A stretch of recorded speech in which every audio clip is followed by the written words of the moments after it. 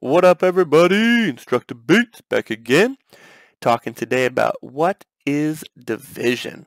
The age-old question. What is division?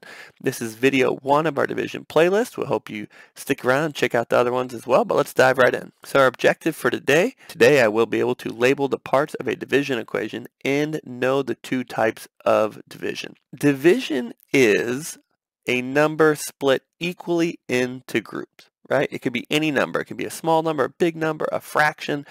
It's a number split into equal groups, right? And that's very, very important, which is why it's red and bolded, that it is equally, right? And so that is what's happening when, you, when you're dividing. You're taking something, um, in, in math, it's a number, and you're splitting it equally into groups. So there are actually two types of division problems, and a lot of people don't really know this or think about it, but there are two types of division problems. Let's check out the first one. First type of division is partitive division, and so uh, we're going to take a little dive into that, what that actually means. But first, right, here's our division equation. Now, the first number is our dividend, right? And so no matter what type of division you're doing, the dividend is the first number. And this is a number that's being shared or split or separated. It's the number or the thing that is being cut. This is what is being split up equally. Whatever, it could be, it is a number, but it could represent anything. It could be a piece of wood, it could be pizza, it could be a drink, it could be anything, right? This is what is being shared, split, separated, cut equally. The second number in our division equation is called the divisor, and that never changes. The second number is always called the divisor. The third number is called the quotient, right? And that's the answer to our division equation. So it's very important you know these three terms. Now, this never changes. No matter what type of um, division we're doing, the dividend is the first number, the divisor is the second number, and the quotient is the third number. However, in partitive division, the meaning of the divisor is different than in the other type of division. In partitive division, we are trying to find the parts in the equal groups. So in partitive division, our divisor is how many groups that there are. Okay, so how many groups? So it's this is being separated, whatever number this is, is being separated, shared, split into equal groups. So the divisor is going to tell us how many equal groups there are, and the quotient is going to tell us how many or how much are in each group. And so this is why it is partitive div uh, division. You're trying to find the parts in the group. So how many are in each group? So in partitive division, Something is being shared, split up, separated. That's a dividend. It's being split into equal groups, and the divisor is a number that tells us how many equal groups. And we are trying to find the parts of those groups, or again, how many are in each group. So here's an example problem. The numbers aren't very big, and, but that's not the point. The point is to understand this type of division.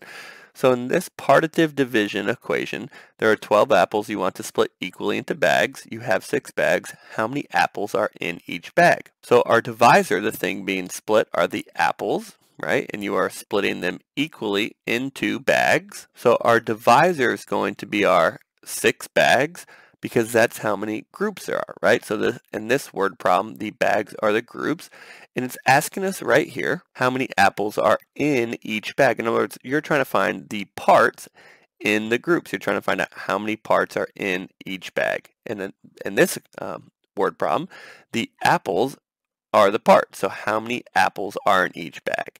So if you were to write this using our blank division equation, you would have 12 apples being separated into six equal groups and that is going to give you two apples in each group. So we found that there are two parts to each group, hence the name partitive division. So the next type of division is called quotative division. In quotative division, you still have your same division equation. Your dividend is still first. It's still the number that is being shared split, separated equally. You still have your divisor and you still have your quotient. And so these, the three names of each of the numbers don't change, but in quotative division, the dividend stays the same. The divisor is not how many groups you now or have, but how many are in each group. So how many in each group? And so this is kind of the opposite of partitive division when the quotient was telling us how many in each group. Now they're going to tell us how many in each group and we are trying to find the quotient which is going to be how many groups now. And so let's take a look at an example problem with the same exact numbers, same type of thing. Our dividend is still our 12 apples, right? Because that's what's going, oops, that's what's going to be split up. Now you want to put six in each bag, right? So you have, you want to take those 12 apples and you're going to put six in each bag. And your answer is going to be how many bags do you need? So in other words, you have your 12 apples you are still dividing them by 6, except now your 6 is how many are in each bag, and you're trying to find out how many bags you need, which of course would be two bags. So the numbers are the same in this division equation, but they mean different things. The dividend is the same, but for this one, the divisor is how many were in each bag or each group, and your quotient was how many groups. So let's take a look at the basics you were supposed to learn in this video right? And so first of all, the division equation is made up of a dividend, divisor, and quotient. There are two different types of division word problems. They both have a dividend, and the dividend means the same thing for both of them.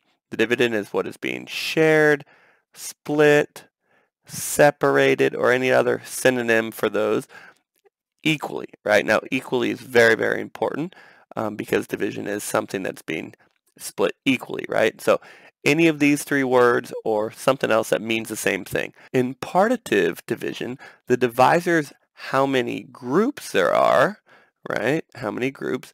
And the quotient is going to be the opposite of that, how many are in each group.